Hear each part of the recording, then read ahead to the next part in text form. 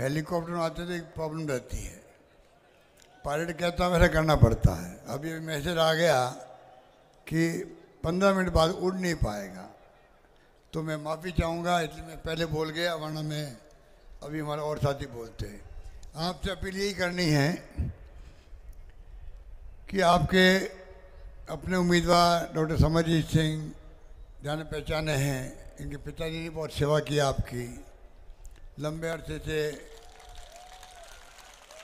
दुर्भाग्य से चुनाव कामयाब नहीं हो पाए, काफ़ी लंबे अरसे से। अब तो मैं आपसे उम्मीद करता हूँ, राम जी का वनवास भी चौदह साल का था, इनको पंद्रह साल हो गए हैं। इस बार आप इनको भारी बहुमत कामयाब करें, तीन चुनाव इन्हीं जीत पाए हैं।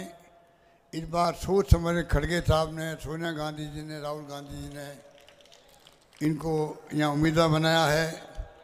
सुखराम विष्णु जी को पुणे सांचोर से, रतन देवासी जी को रानीवाड़ा से और हमारे रमीला मेघवाल जी को जालोर से और आहोर से सरोज चौधरी जी बनाया है उम्मीदवार।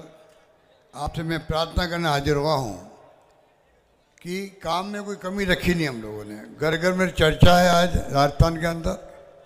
सरकार ने आपके आशीर्वाद से मैं मुख्यमंत्री बना पाँच साल पहले। एक एक पल जो है, एक पल मैंने बिताया है आपकी सेवा में।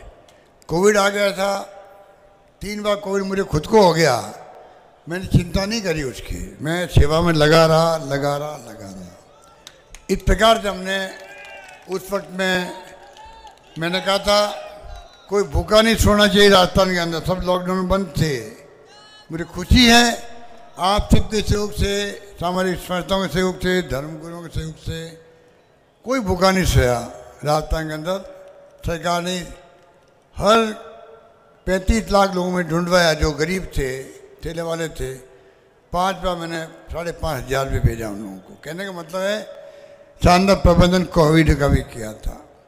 इसके में एक से बढ़ के एक लेके आए हैं। पच्चीस लाख का बीमा भी समझ ही नहीं कह रहे थे। हिंदुस्तान में कहीं पे भी नहीं है, पूरी पब्लिक के लिए, एकमात्र राजस्थान के अंदर है। महँगे राज शिविर चले हमारे, पाँच सौ में गैस सिलेंडर दे रहे हैं हम लोग। हिंदुस्तान में कहीं पे भी नहीं है। अब और संख्या बढ़ा रहे हैं, जो गारंटी के रूप में आ रहा आपके सामने। दुर्घटना बीमा अलग कर दिया। गाँव की सेवा इतनी कर रहे हैं हम लोग। हमारे विपक्षी लोग बात करते हैं, गाय की बात करते हैं। उनको पूछो, पाँच साल में आपने सिर्फ़ पाँच सौ करोड़ रुपये खर्च किए। और मैंने अभी ती पाँच साल में तीन हज़ार करोड़ रुपये मैंने गौशालाओं को अनुदान दिया लंपी रोग में गाय मर गई थी बेचारी। चालीस चालीस हज़ार रुपये मैंने दिए किसानों को। एक एक गाय मरने पे दिया चालीस हज़ार रुपये दिए। कहने का मतलब ये है अन्नपूर्णा किट योजना अलग है दा, उसमें दालें भी है शक्कर भी है। गरीब के रसों में जाता है सामान उसे सुकून मिलता है क्योंकि इतनी ज़्यादा महँगाई है। इतने मैं कहना चाहूँगा, हमने पानी की योजनाओं में बताया अभी समझ इसी मैं रिपीट नहीं करूँगा, नर्मदा हो चाहे माई हो, तमाम काम आने वाले वक्त में ऐसे होंगे। आपको कह रहे सिंचाई की सुविधा मिले, चाहे जवई डैम का पानी की बात है, चाहे माई की बात हो, चाहे कोई नर्मदा की बात हो।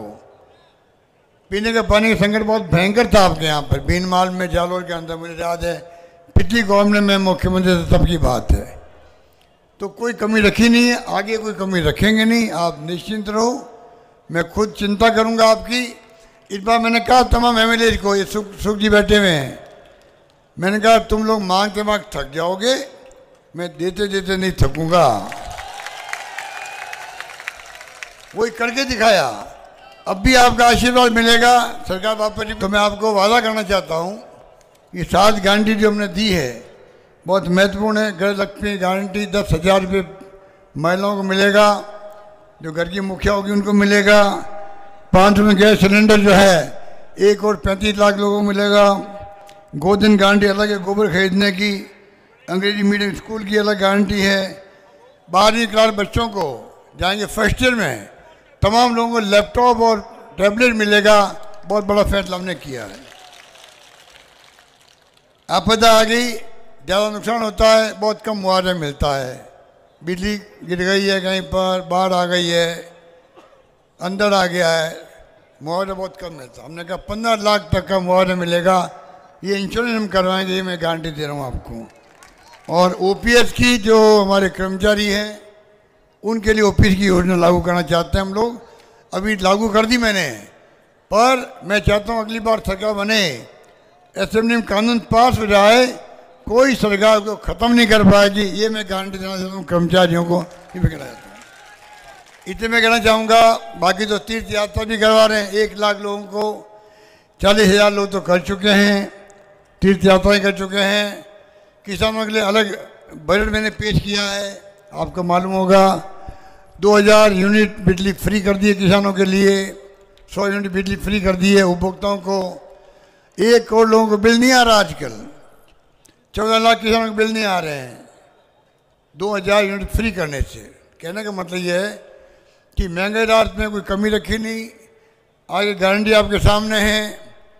एक करोड़ लोगों को पेंशन दे रहे हैं।